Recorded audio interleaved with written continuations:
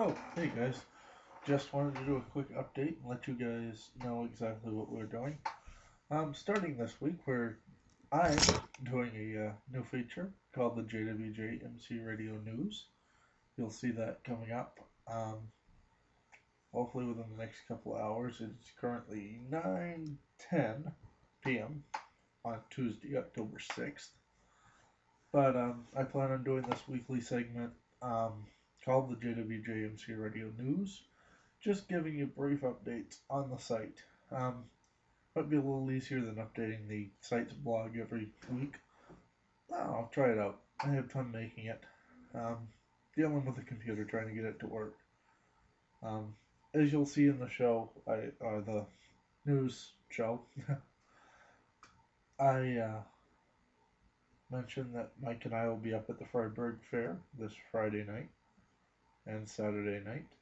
Uh, we plan on getting there at about two in the afternoon. Um, that's in Fryeburg, Maine. If I can get my phone to work, I will update my Twitter and let you guys know where we are, or I'll update the site's Twitter as well. And um, if not, if you guys don't have a Twitter, you can uh, use our Facebook. We'll, we'll definitely be using the fan, fan page on the Facebook page. So, uh, yeah, that's what I'm doing as far as website goes um, tonight. And I have been updating the forums page, so make sure you check back with that. Um, just doing little things here and there, trying to keep everything up, maintained, done right.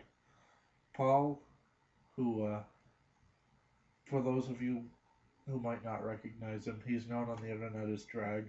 He's all over the place on the internet. He's kind of like a star of himself. He's just never been in his own videos. Well, he has, just not acting wise.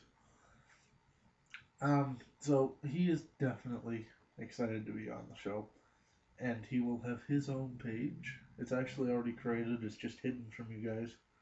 Um, he's gonna put his personal stuff in it that he wants you guys to know about him, and then he will update his vlog and blog every week, or whenever he can. He works a lot more than I do, and obviously a lot more than Mike does.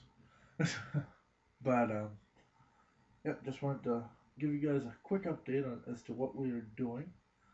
And uh, we hope to see you up at the Fryeburg Fair Saturday night. And um, if I can, I'll bring my camera and we'll do an update from up there. Uh, me and Mike will. And then we'll definitely see you all Wednesday for the live show.